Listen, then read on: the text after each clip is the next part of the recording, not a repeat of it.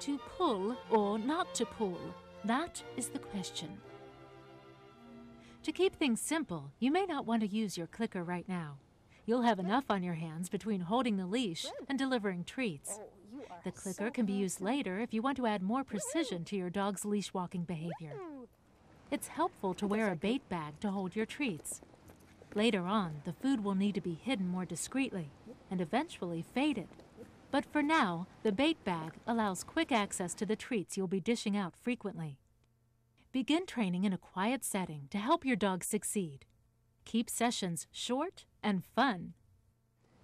Here you see a 16 week old shelter pup who has almost no leash experience. A four foot leash is attached to a flat buckle collar. Sherry begins by backing up and encouraging the pup to follow. The backward movement helps to keep his attention. Every couple of steps, she gives a treat and verbal encouragement. The leash is slack almost all of the time. Notice how frequently she rewards the pup for attention and loose leash.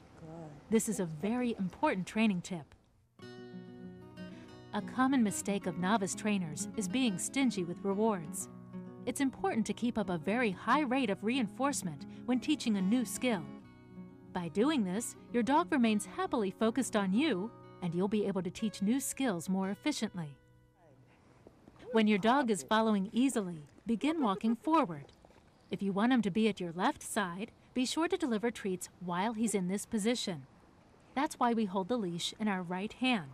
It keeps the left hand free for treat delivery. In this demonstration, Sherry is reaching across her body with treats in her right hand.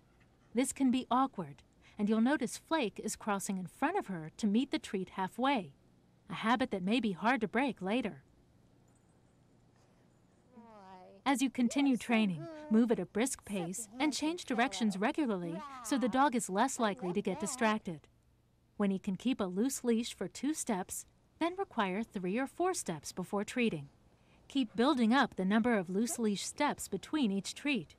When your dog is doing well walking at your side, add an informal cue like, let's go. If he lags behind, try using better treats or become more animated in the way you talk to your dog, and possibly in the way you're moving too. Delivering treats at your side will also minimize lagging.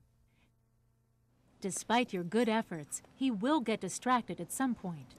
This is your chance to introduce the rule that pulling never works. When dealing with dogs that don't already have a long and successful history of pulling, this can be taught easily. Every time he begins to pull, immediately stop in your tracks. This is often called becoming a tree, and you stay frozen this way until the leash goes slack and he refocuses on you. Then begin to walk again, treating frequently for loose leash behavior. Excellent.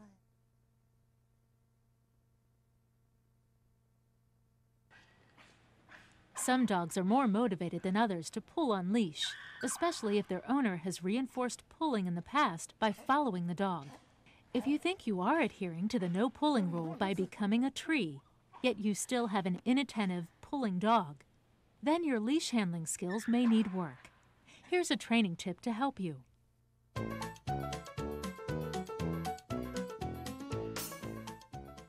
Although you stand still when the dog pulls, you may be giving him too much freedom on the leash because your arms keep moving. That can yield him quite a few feet of additional freedom, and he'll feel like he's actually getting somewhere, even if the gain is only temporary. As a result, it usually takes longer for him to refocus on you.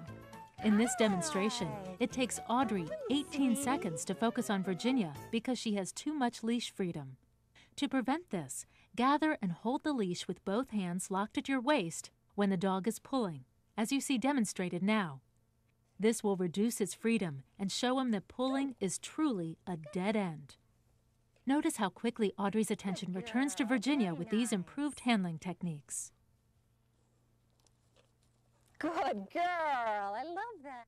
When your dog is doing well in a variety of quiet settings, start to add distractions.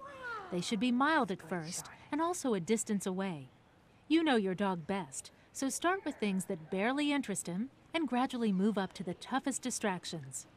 Any resurgence in pulling should be mild if you introduce low level distractions far away at first. But be ready to lock yourself into a stationary position if his attention does stray.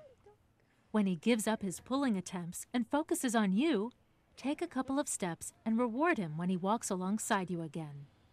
Gradually bring him closer to the low level distraction until he's able to walk right by it on a loose leash.